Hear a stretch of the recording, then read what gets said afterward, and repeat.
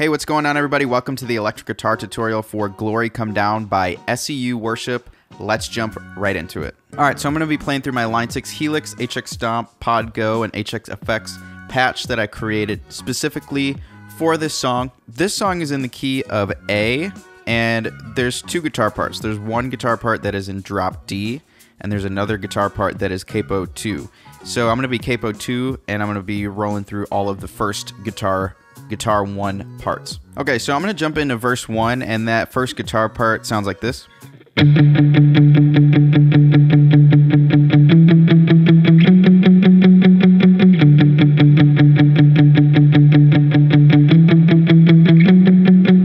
So I'm actually going to reference the frets as they are normally without the capo. So it's going to start on the fifth fret, which is your D chord, A string.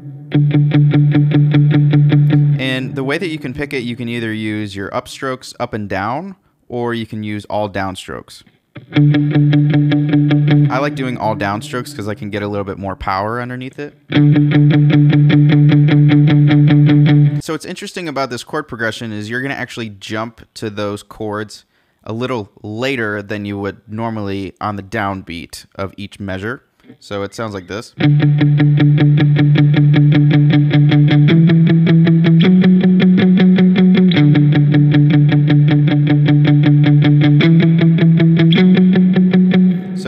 Counted it, it would be like one, two, three, four, one. One, two, three, four, one. So then that first chorus for guitar one is just your same chords, but they're all on the downbeat, and you're just basically you're playing diamonds. Basically, you're just holding out that entire measure until you have to hit the next chord. So it sounds like this.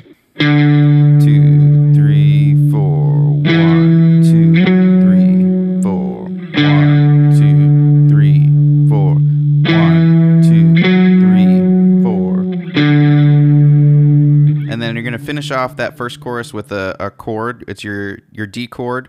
You're gonna play it like a C chord here because you're capoed two. So this is a C2 chord and you're going to play it on the fifth fret A string, and then your ring finger and pinky on the fifth fret B and E string.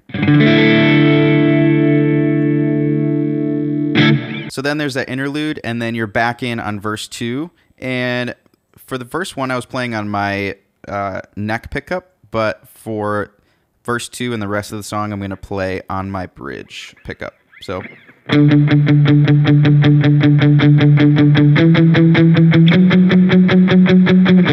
So then chorus two, you're bigger and you're actually playing chords here.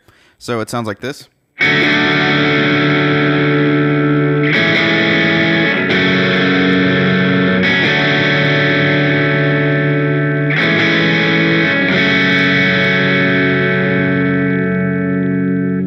It's the same chord progression. So you're going to play it like you're going to play a C chord, but without your first finger. It makes it a C major 7. So it's going to be your ring finger on the 5th fret A string and middle finger on the 4th fret D string. And then everything else is open. Don't play your low E string unless you want it to kind of get muddy. You can also play it that way. What you're going to do is you're literally going to shift that up two frets. Starting on the 7th fret.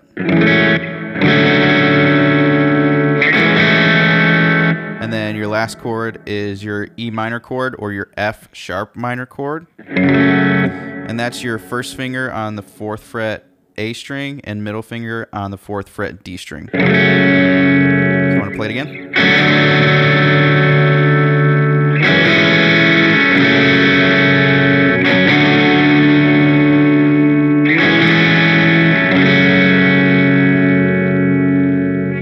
So after chorus two, you're into the breakdown bridge section, and there's a very specific part. It goes like this.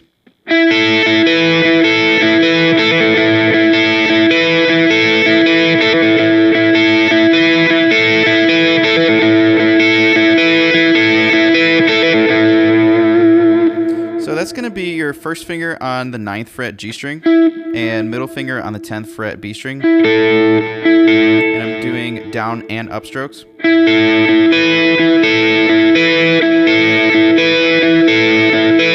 Downstroke on the G and then upstroke on the B string. And then there's going to be a hammer on pull off here.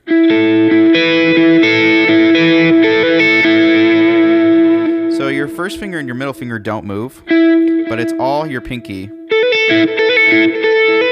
it's going to be a hammer on on your B string to the 12th fret, and then strike your G string 9th fret.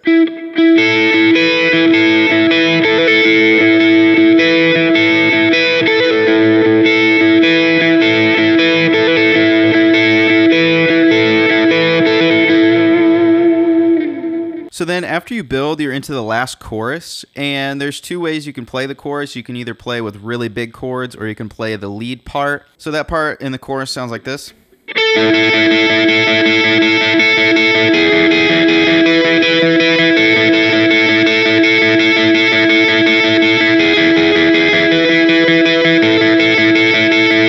So it's just very repetitious and it's the down up. It's very similar to what we played in the bridge section except you're starting with your B string.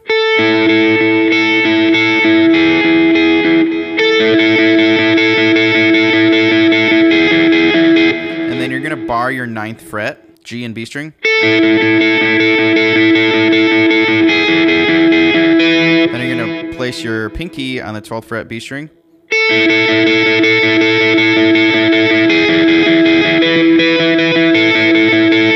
And then you're back to where you started with your first finger on the ninth fret and middle finger on the 10th fret, G and B string.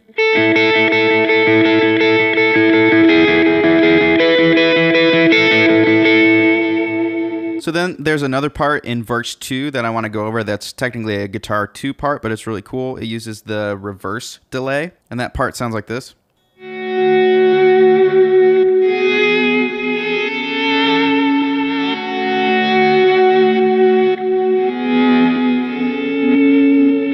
So I'm using my volume pedal as well. So when I strike the note, I'm bringing up my volume pedal.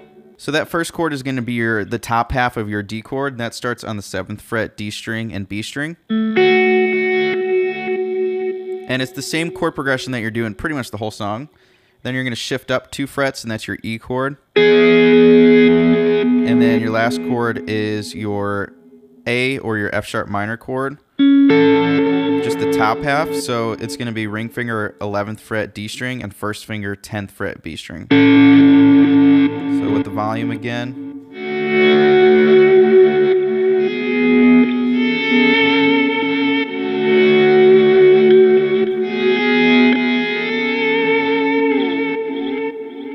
So the last part I want to go over is the final rhythm part. And for this, I'm going to need to go to drop D. It's what they're playing on the recording.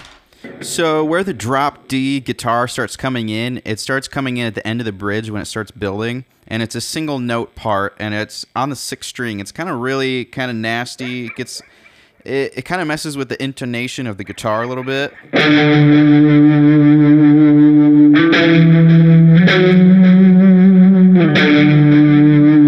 So it's all on the low E string. It starts on the 12th fret.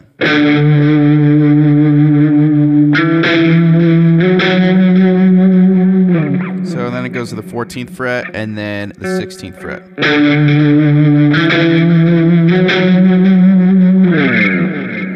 And then when it starts building again, uh, almost to the chorus, goes.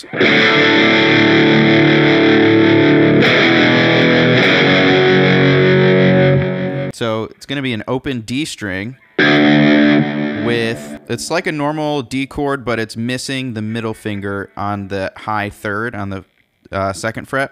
First finger, second fret, G string, ring finger, third fret, D string. And then since it's a it's drop D, I basically place and bar my whatever finger you want, whatever finger is most comfortable, my lowest three strings. So my D string, my low D string, my A string, and my D string. So what that's doing, it's creating a power chord where there's really no major or minor quality to it.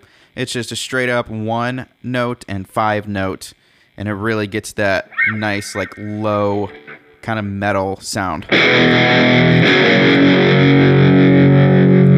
So my first chord is a D chord, and then my E chord, second fret. And then my F sharp chord is on the fourth fret now.